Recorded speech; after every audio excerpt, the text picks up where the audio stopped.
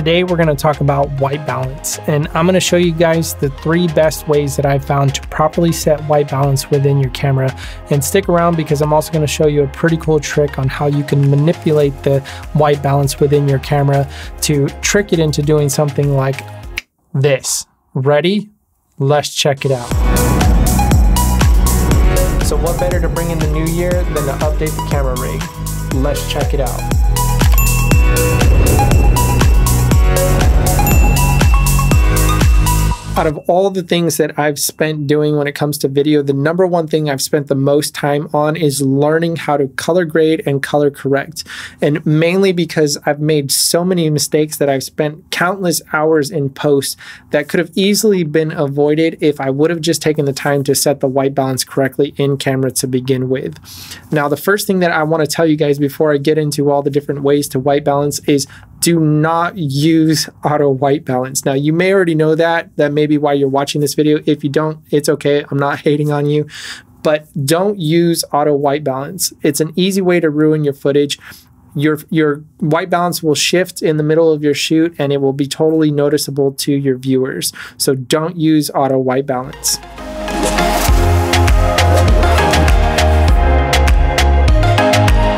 One of the first methods for setting white balance is to use one of the built-in presets. Now this is a Panasonic Lumix G85. Believe it or not, this is a fantastic camera for its price.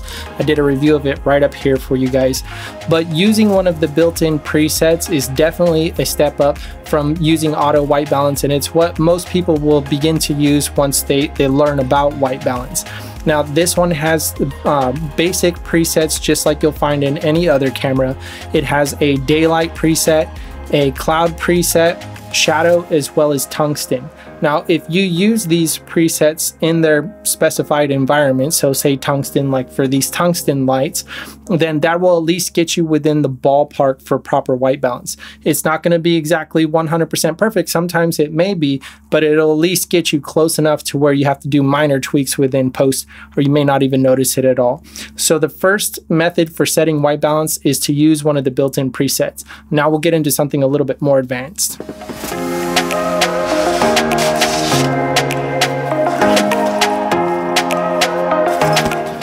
The next way to set our white balance, which is probably the most common method to set white balance, is using what's called a custom white balance.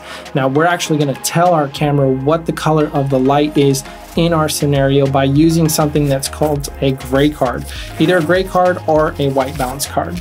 But this is just a cheap gray card that I got off of Amazon. You can get these for like 10 bucks. I'll leave links down in the description below for all of this stuff. This one's very convenient because it folds up.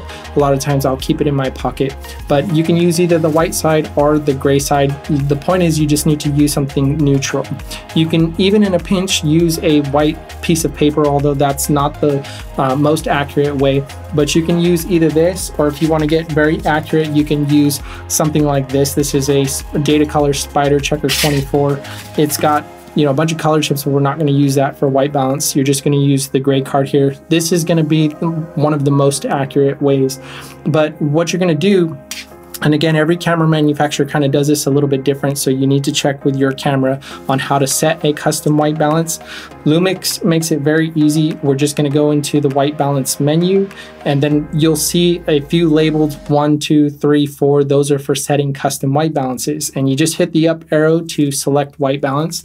And one of the most important things in using this is you need to point it at the light source that you're wanting to white balance to. Like here I have mixed lighting, but I want to uh, balance the white balance to my key light so I my skin tones look correctly. So I'm going to point this at the main key light, go into that custom preset menu, and then it's going to put up a little box. All I do is point at the gray card, hit set, and that's it. Now the camera is set to the white balance of the light that's in the room. So the next way using um, a custom white balance is to use something like this, which is a white balance filter. This is not as common, uh, but it's still been around for a while and it, it is actually very accurate, a little bit more accurate than using one of these. And there are several different models of white balance filters. You can use either this one, which is again another cheap one that I got off of Amazon. And the reason why this is more accurate is because we're gonna do that same custom white balance, but we're actually gonna put this over the lens and then point at our light source do that custom white balance and then hit set. Now this takes all the light that's coming into the lens and white balances to that. So it's much more accurate where this can have other light that is reflecting on it and you get kind of a little bit of a mixed light and so it may not be as accurate.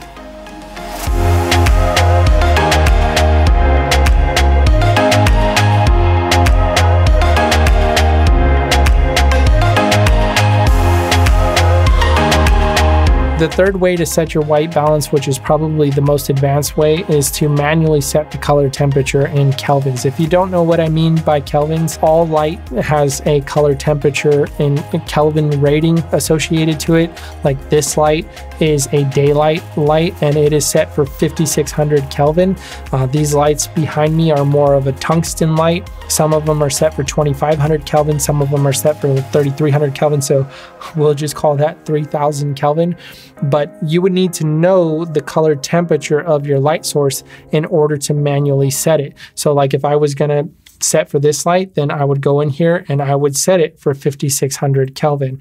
And um, my particular camera does have a, a little gauge that kind of shows me, you know, based on the type of lighting it is, where that falls on the scale. But the other way to do it is to use something um, like an app. So this is a light meter app that I have. And um, I actually don't use it for the light meter, but it, it will tell me what the color temperature is. And it's using the sensor on my camera. And I can just point it at, you know, whatever scene I'm going to be shooting at. And this little dot in the middle will tell me what the color temperature of that is. It's not super accurate, but it, it's pretty close. And um, so you can use that. There are some attachments that you can get for like iPhones and things like that, a couple hundred bucks, and they will give you a very accurate reading of what the color temperature is. Or you can use what's called a spectrometer. It, it, looks very similar to this. This is my light meter, but it will uh, take a very accurate reading of the color that are, are, the lights that you're working with. They are also very expensive, um, thousand bucks to five thousand bucks. So those are the three basic ways that I know to set white balance. Uh, any of those is going to help you get more accurate white balance so you can save yourself tons of time in post. But now I'll kind of show you how I manipulated the scene here earlier using the white balance of my camera to give it that more blue look in the background.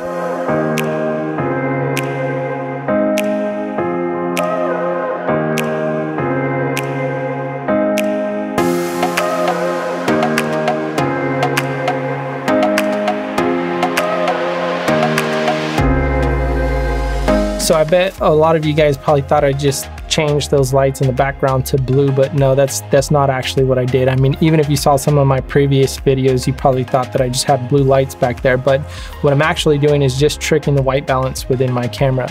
All those lights behind me are set to 5600 Kelvin, or daylight balanced. The only one that's not is that light right there on the shelf because it's not a bicolor light, so I can't actually change it. And this strip light right here, it's got a little bit of a blue tint to it that's as white as that one will go. But all the rest of the lights, including my key light here, are set to 5600 daylight balanced. And so what I'm doing is I'm screen recording here and I'm going to show you guys how I'm going to adjust the white balance. I can't get behind the camera so I have to do it this way. But I'm going to change the white balance on my key light to more of a tungsten light and you're gonna see me get really orange, but you'll see what I'm gonna do with that in just a second. So it's set to 5600. Now I'm changing that to 3200 and you can see now my skin looks really orange. It just doesn't look right, but all the background here still looks white. And that's because the camera is set to the 5600 daylight. So now this is really warm. But what I'm gonna do is I'm gonna take my gray card, which doesn't look very gray at the moment, and I'm gonna set the white balance to this key light, the tungsten color, and that's gonna tell my camera that that is white. And so it's gonna make my skin tones look correct, but it's gonna cool down that background dramatically.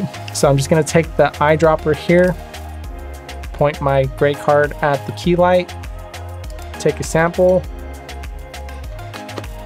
and there you go. Now everything looks correct. So you can see my skin tone looks normal. The, you know, I might have a little bit of blue here and there from just spill from the background, but you can see the background is nice and blue, nice and cool. We've got good color separation going on here. This is actually a trick that they use in Hollywood. They, they won't always go that cool in the background, but they'll cool it off a little bit just to give some separation so I don't blend into the background and things like that. So that's pretty much it. Let me know what you guys thought about that little trick. If you have any questions, if I didn't explain it properly, let me know down below. But that's it for today's video. If you found it helpful, give it a thumbs up. I will see you guys on the next one. Thanks for stopping by.